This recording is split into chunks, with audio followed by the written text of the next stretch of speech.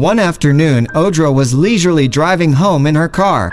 She lived near a body of water, so she always drove particularly slowly and carefully. Suddenly, a wet animal stomping by the shore caught her eye. Stopping the car, Audra was shocked. Standing beside the river was a dog with a homemade heavy anchor around its neck. The dog could barely take a step the weight of the collar was literally throwing him to the ground.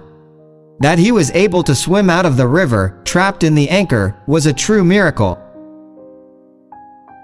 Of course, Audra couldn't leave the dog behind and immediately went with him to the nearest veterinary clinic. Fortunately, the vet didn't diagnose the dog with any serious injuries. The dog turned out to be a purebred, a young Cocker Spaniel. It is hard to guess what kind of monster was his owner and why they decided to get rid of the pet this way. The animal literally managed to outplay death and escape the trap in one piece. Audra did not leave the spaniel and appealed to law enforcement, because cruelty to animals is punishable by law. Thor's owner, which was the name of the spaniel, was found pretty quickly. However, the owner denied any involvement in the incident. He claimed that the animal had been stolen and some insane person had tried to drown it. The proceedings are now underway.